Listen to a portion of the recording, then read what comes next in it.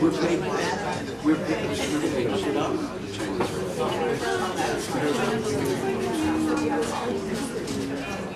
Well, the whole thing is the, they trace it.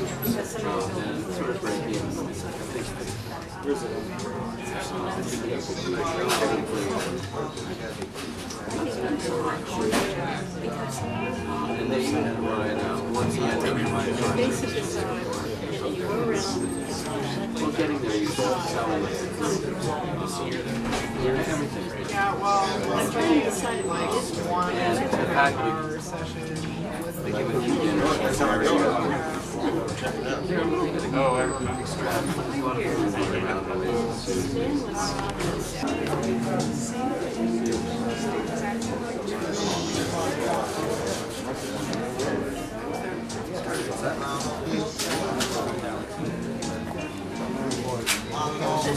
Sometimes I was a kid. Well, maybe you need to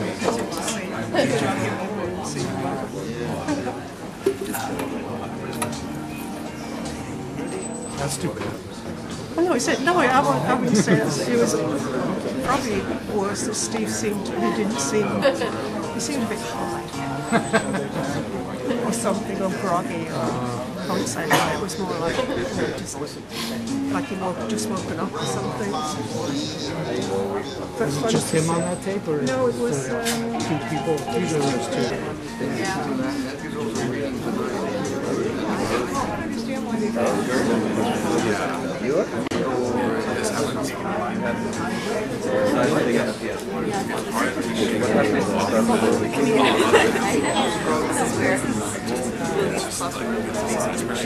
I can move on. With no work people in service.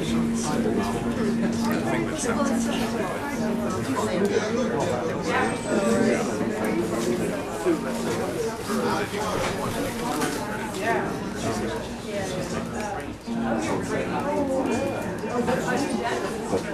the.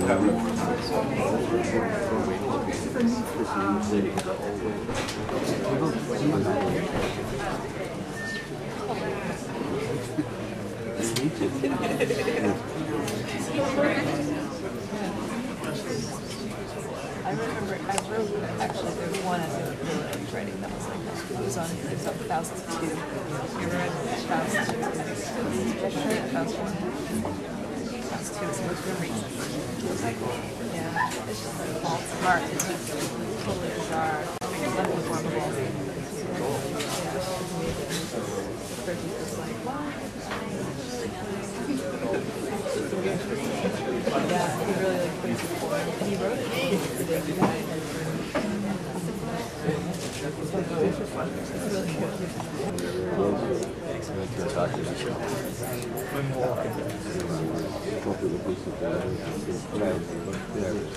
Um, hello, everyone, and welcome. Uh, thank you for coming.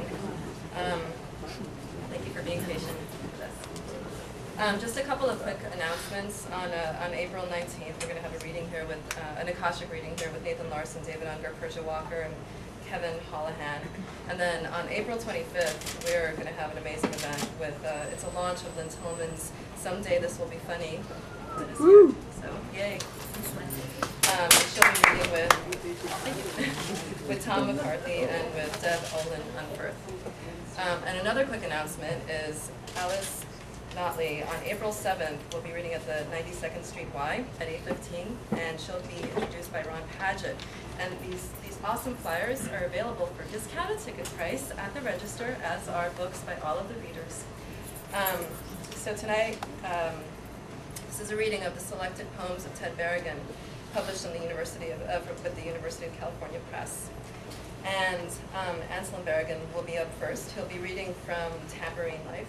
Then Alice Notley will be reading from Easter Monday, and Edmund Berrigan will be reading some later works. And this may all get mixed up, and I'm sure they'll let you know as they go along. All right, thank you.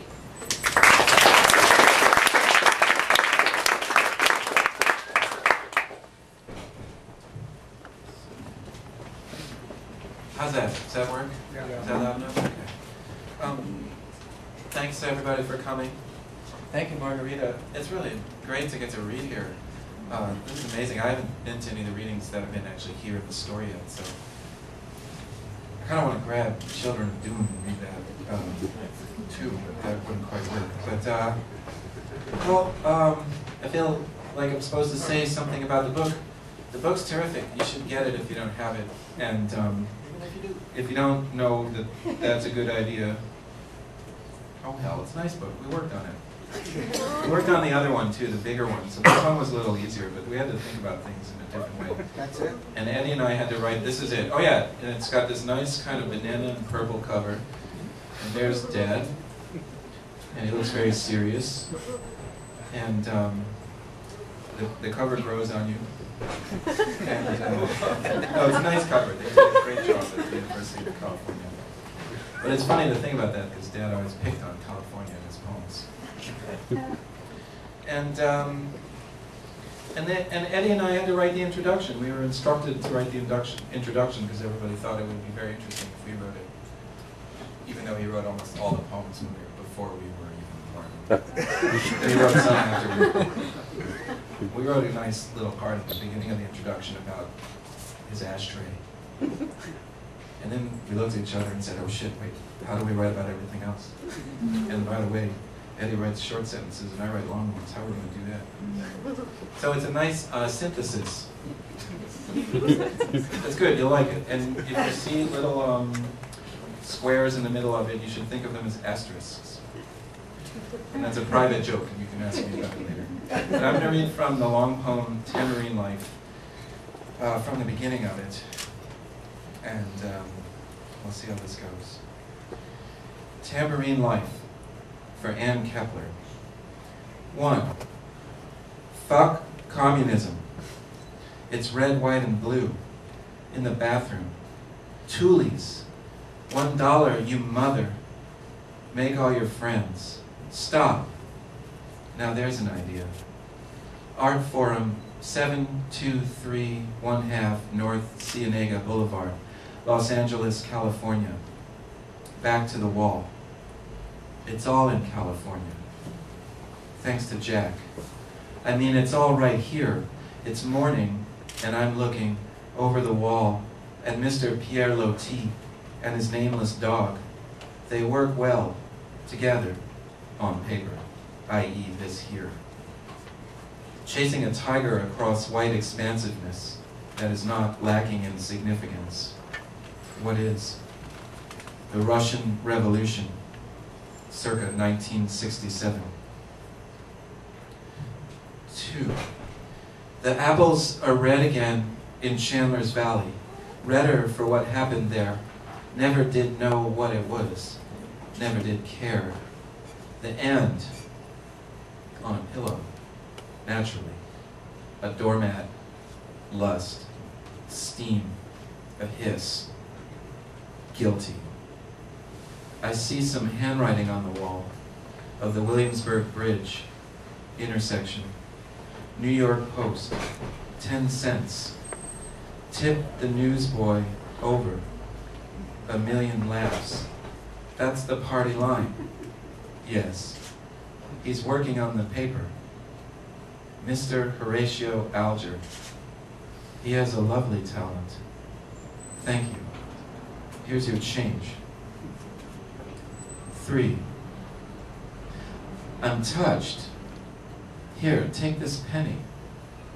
There is no need for the past. The sun is out. It's night. I mean, it is night. And I love you better since this seizure of my eyeballs. Take off those fug panties. Go ahead. It's a big world. The big guys do it.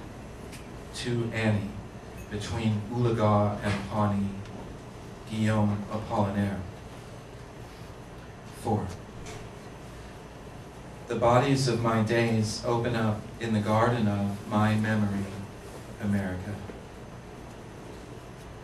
I have had the courage to look backward. It was like polio. I shot my mouth off. I need money. That money, that at least at last, means less than a band-aid or a toadstool. Ouch. That band-aid has an ouch in it. Who notices a toadstool in the street? Everyone who has on a band-aid. That toadstool has a band-aid on it. Five, to bread to DeBerry.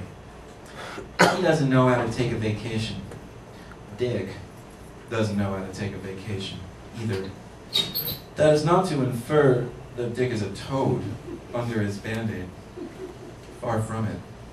A toad is a cold-blooded fellow. Dick is warm and full of blood. When you leave, Dick, turn the refrigerator to vacation, please. Six. Now I'm going to read three cereal poems. Corn flakes, oatmeal, rye crisp. Thank you. They were composed, excuse me, I mean not composed, using the John Cage animal Cracker method of composition. This seems to be mushrooming into a major work of high seriousness. I'd fight for that. I didn't have to. Seven. True love. There is only one way to describe true love. Does anyone know that one way? Mr. Nelson Algren, 1958, West Evergreen, Chicago, Illinois. In Chicago, Illinois, you are really at home, whether you like it or not, baby. And whether you like it or not. You are my friend. So don't piece me off. hey, Come into my house tonight, Dick, and I will show you this new work. House at night. It and this page, they are not here, are not the same, except in a manner of speaking. It is not a portrait of Jean Marie, though it could be. It is also not a portrait of Barbara Harris, whom I don't know, though I like her plenty. She's a lot like me. My own name is Mr. Brigadoon. Nine. I am constantly being caught up in my own commotion. It is now a slow commotion. The radio is turning me on. 10. Commotion over.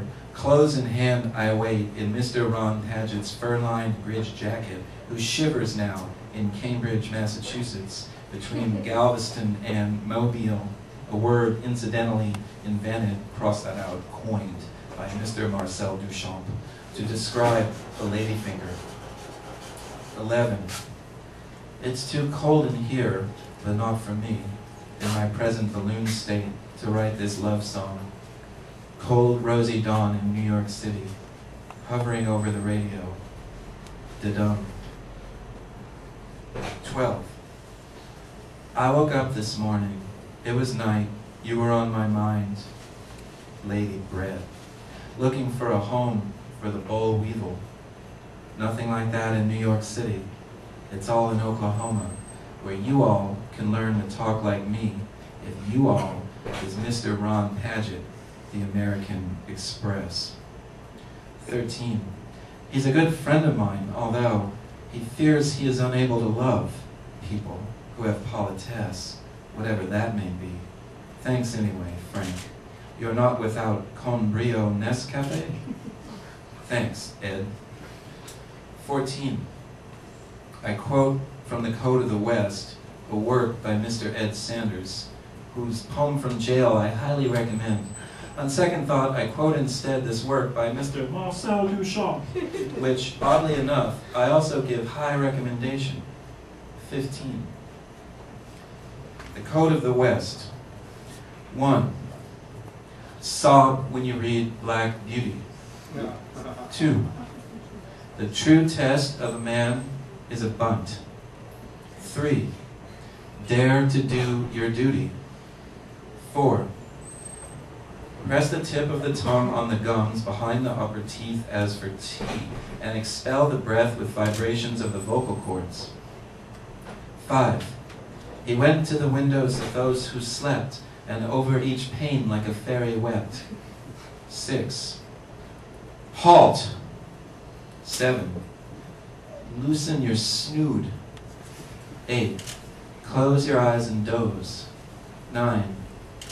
Jove, Jove, this shepherd's passion is much upon my fashion. Ten.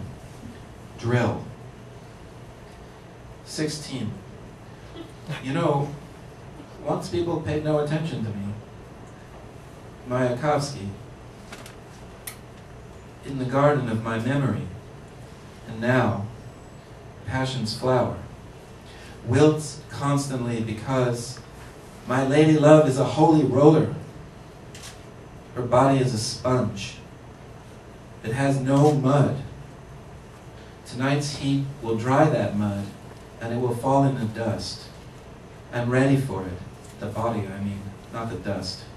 However, if you are in the dust, kindly hop into this tub of black water, please.